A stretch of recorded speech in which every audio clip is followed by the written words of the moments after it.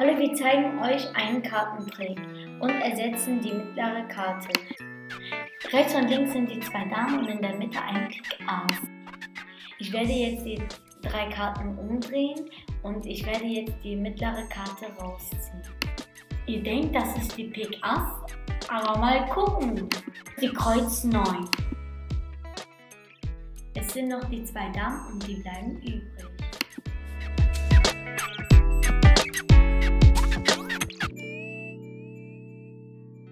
Ihr braucht vier Karten und ihr braucht eine Schere, einen Tesafilm und eine Karte zum Ausschneiden.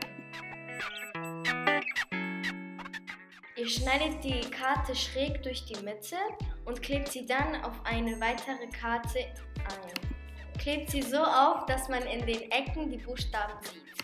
Das ausgeschnittene Teil sollte man außerdem noch biegen und knicken können, sodass die andere Karte reinpasst. Ihr nehmt eine Karte, die ihr später zeigen wollt, und fügt sie in das ausgeschnittene Teil, sodass man sie nicht mehr sieht. Ihr braucht noch eine weitere Karte, damit ihr das eingefügte Teil noch verdecken könnt. Die Zuschauer werden denken, dass ihr nur drei Karten habt, weil man das Teil, was drinne ist, nicht sieht, sondern nur das ausgeschnittene Teil zu sehen ist. Wenn ihr die Karten also umdreht, sieht es immer noch so aus, als ob ihr drei Karten habt, weil man die 9 nicht sieht. Indem ihr die mittlere Karte rauszieht, denken die Zuschauer, ihr zieht das Ass raus. Doch da es nur das ausgeschnittene Teil war, sieht man jetzt die Karte, die eingeführt wurde, die Kreuz 9.